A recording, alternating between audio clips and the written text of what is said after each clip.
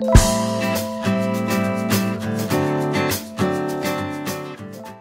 good morning and welcome to today's daily devotions. My name's Miles, I'm one of the pastors at Lansdowne Church, and this morning we're going to be looking at Psalm 25. Shall we read it together?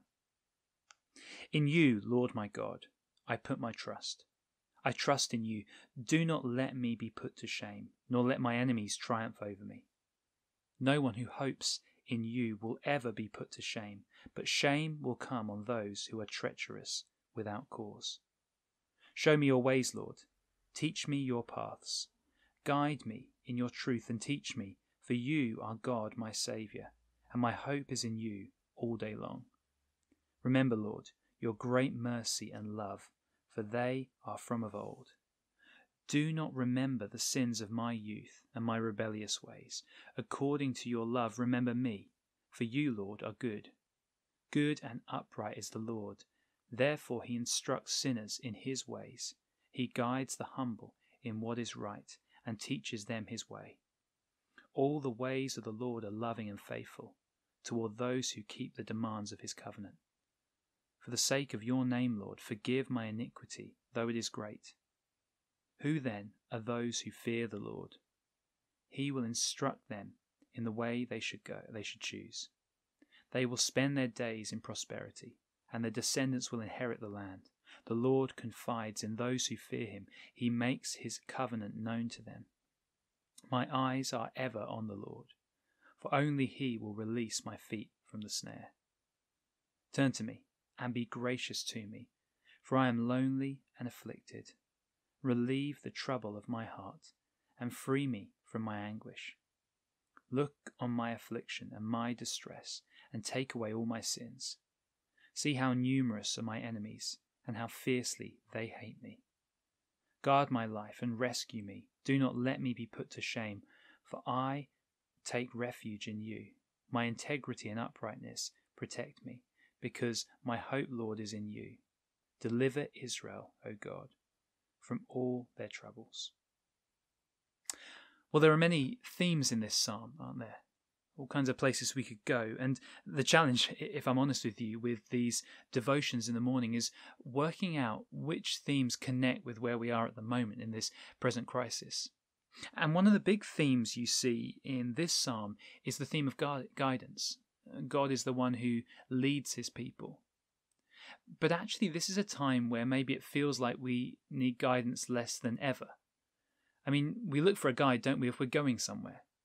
If you were making a trek up a great mountain, you might look for a Himalayan guide who could lead you to the summit. Or maybe a bit more down to earth, if you were trying to get to someone's house and you didn't know where it was, you'd type their postcode into your phone and the GPS would guide you there. But during this period of lockdown, we're not going anywhere, are we? And maybe to move things um, into a slightly more abstract realm, our lives are on pause as well. So much of the things which we were expecting, things which were moving forward, things which were changing, uh, have just stopped at the moment. And people are probably not moving into new jobs, moving into new houses, moving into new relationships at the moment. Everything has been on pause. So, do we need God to guide us? Do we need the God here who guides us and teaches us and shows us his ways? Well, I think the answer is still yes, maybe even more so.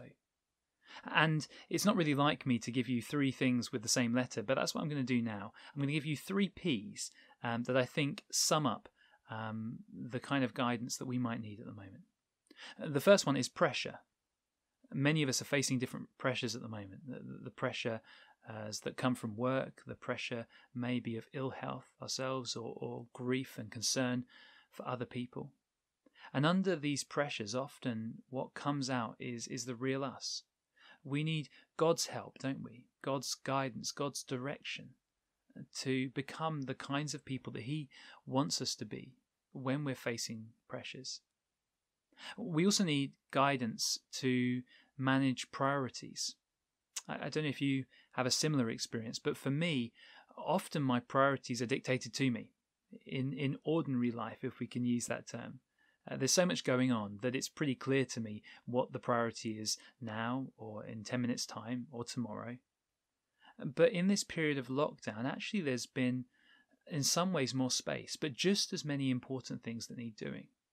So it's even more important that we look to God to guide us to the right priorities, to use our time well, to invest the day that lays ahead of us for His kingdom, to figure out what is most crucial, most significant, most important in the way that we use our time in this day and the next one.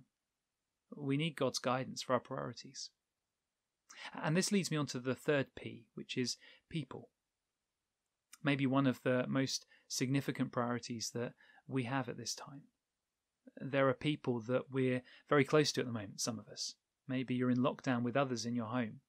And this does give you a real opportunity to invest in relationships that have been neglected, perhaps, in recent years. Others of us have reconnected with people that we have drifted from and it's been really good for us to feel God's guidance to individuals who we can invest in at this time. Maybe for some of you, there are ways that you can connect online or at a distance uh, with people who don't yet know Jesus. And you can share with them the life that you have in Him. We need, God, we need God's guidance at the moment to lead us to the right people, to show us who we should be investing in at this time. So those are my three P's. But before we go to prayer, just another encouragement from this psalm. One, one of the other big themes is God's forgiveness. And that's good to know, isn't it? If we're honest, all of us fails to follow God's guidance perfectly. All of us will have times where we are oblivious to where God is guiding us, or, or, or we're outright disobedient to what God wants us to be doing. And so it's fantastic to know, isn't it, that God is a forgiving God, that He is gracious and that He is willing to accept us back and to continue to be our guide, even when sometimes we try to ignore His guidance. So let's spend some time in prayer now and pray that God, by His Spirit, would guide us today and in the days ahead. Let's pray. Father, thank you so much that we are your people and that you are a God who doesn't leave us to work it all out ourselves, but you do guide us. And even during this time where it feels like so much of life is on pause, we need your guiding hand. Lord, we need you to guide us through the challenges, the unique pressures of this time. Some of us are um, so weighed down with difficulties, and we need your help to react in a way that is Christ like, in a way that honours you. Lord, all of us need real wisdom at the moment to know how to balance the different priorities there are in our lives, to prioritize the right things, to do things of importance, not just to busy ourselves with trivial things. And Lord, we need your help as well to prioritize the right people, uh, to really invest in the people that you've put around us, the people that you've put on our hearts, the people that you've given us to care for and to love to get to know better, to share Christ with. Lord, help us to be obedient to you, to listen to your voice, to be guided by you, to follow your ways. Lord, thank you that you're a God of grace, that even though we fail you so often, you don't give up on us. Thank you that you forgive us. And Lord, we end this morning on the, the note that this psalm begins with, a note of trust. We're your people and we trust you, God. Help us to trust you more as we follow you today and in the days ahead. We pray this all in Jesus' name. Amen.